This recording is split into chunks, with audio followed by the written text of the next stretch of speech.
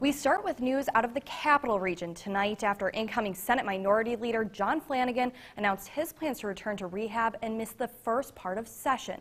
Because of this, a familiar face to our region will be filling in. Our Capitol correspondent Morgan McKay has the details. Former Senate Majority Leader and now incoming Senate Minority Leader John Flanagan sent out a statement today saying that he is seeking help for his alcoholism. According to Flanagan's spokesperson, Scott Reif, Flanagan has been in treatment since before Christmas and is expected to return January 21st. This means Flanagan will miss at least the first two weeks of session. This is the second time Flanagan has publicly announced that he will be receiving help for his alcoholism. The first time was in 2017. Senator Catherine Young of Western New York competed with Flanagan for the Senate minority position, but ultimately lost by a few votes. She, however, released a statement today saying it takes great courage and strength to recognize when an addiction has a dangerous grip on one's life and to seek outside help in combating the problem. I commend Senator Flanagan for bravely choosing that path.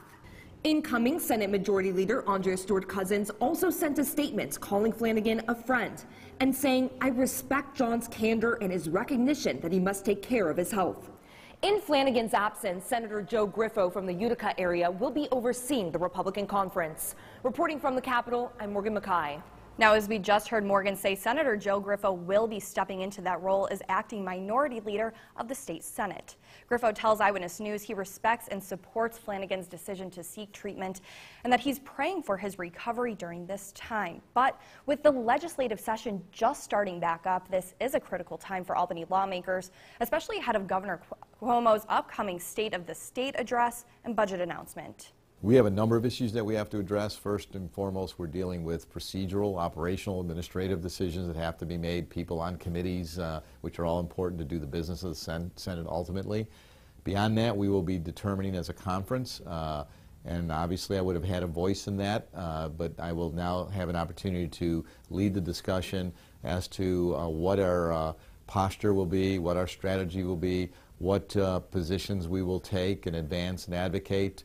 Griffo says although the Republicans are now in the minority party across the board, he remains hopeful that their voices will continue to be heard, especially on issues like economic opportunity and affordability.